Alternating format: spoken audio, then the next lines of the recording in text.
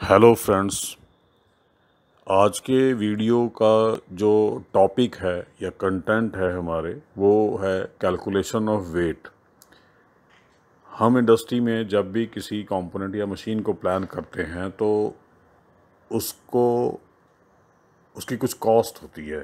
वो कॉस्ट हम कई फैक्टर्स पे डिपेंड होती है और उसमें से एक फैक्टर है उस कंपोनेंट या मशीन का वेट वेट कैसे कैलकुलेट किया जाता है? आज के वीडियो का टॉपिक यही है। हमें ट्रांसपोर्टेशन और मैन्युफैक्चरिंग दोनों के लिए वेट की ज़रूरत होती है। हम किसी भी कंपोनेंट को वेट निकाल के उसकी मैन्युफैक्चरिंग कॉस्ट और फर्दर उसकी ट्रांसपोर्टेशन का मोड डिसाइड करते हैं। तो हम आज इसी टॉपिक पे बात करने वाले हैं। आप हमारे वीडियो के साथ बने रहें। ये एक ट्राइंगल है जिसमें एम डी और वी हमने मेंशन किया है। ये क्या है?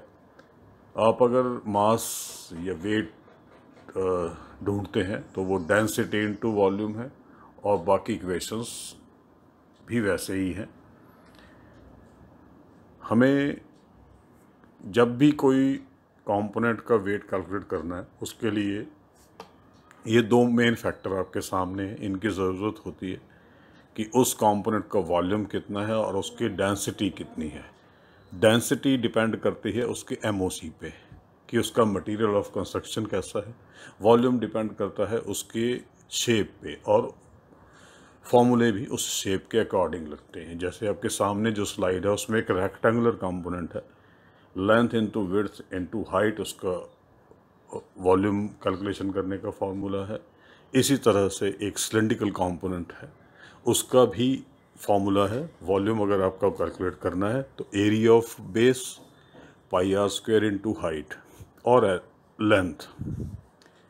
उसके जो वॉल्यूम है, क्यूबिक मीटर, क्यूबिक फुट और क्यूबिक सेंटीमीटर है। ये हुई वॉल्यूम की बात। लेकिन आपको सिर्फ़ वॉल्यूम से वेट नहीं होगा, उसके लिए आपको उस मेटल की डेंसिटी चाहिए। कुछ मेजर मेटल्स हैं, जिनके डेंसिटी आपके सामने है, जिसमें मेजर जो है वो स्टील आयरन कॉपर ब्रास और एलुमिनियम जिनकी हमें फ्रीक्वेंट ज़रूरत पड़ती है। आज का वीडियो हमने एक सिलेंडिकल कंपोनेंट को वेट कैलकुलेशन के लिए रखा है। उसका अगर हमें वॉल्यूम निकालना है कंपोनेंट का जो सिलेंडिकल है तो area of base pi D square upon four और pi R square into H और हाइट। तो आज जो हमारा क्वेश्चन है कि अगर एक माइल्ड स्टील का सिलेंडिकल कंपोनेंट है, जिसका डायमीटर 20 एम mm और लेंथ 100 एम mm तो उसका वेट कितना होगा? इसी वेट को कैलकुलेट करने के लिए हम जो फॉर्मूला आपसे अभी बताया है, उसका उपयोग करेंगे और उसमें हम अपने यूनिट्स को कैसे फिट करेंगे। आपके सामने है ये स्लाइड, जहाँ पे डायमीटर 20 एम mm है और हाइट 100 एम mm है pi D square upon four into H ये आपके सामने फिगर और फॉर्मूला दोनों। यहाँ पे हमने उसको सॉल्व किया। सॉल्व करने के बाद में हमारे पास जो डिजिट आया three one four double zero लेकिन इसकी जो यूनिट है, वो क्यूबिक एम एम है। इसको मीटर में कन्वर्ट करते हैं। मीटर में कन्वर्ट करने के बाद में हमारे पास आया point zero three one four अब इसकी यूनिट है क्यूबिक मीटर।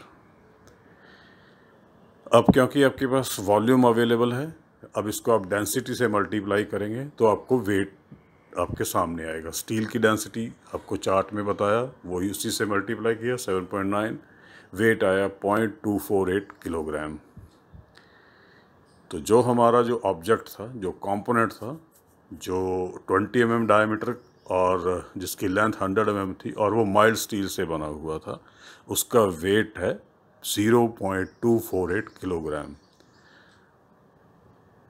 इसी तरह से आपको और कोई वेट कैलकुलेट करना है, आप फार्मूला यूज़ करके कर सकते हैं। इसी तरह के और कई महत्वपूर्ण जानकारी जानकारी के लिए आप मेरे चैनल के साथ जुड़े रहें, सब्सक्राइब करें इसे और आपके कोई सवाल हैं, आप हमें लिखें, हम उसका जवाब देने के लिए अपने आप को तैयार रखते हैं। धन्यवाद।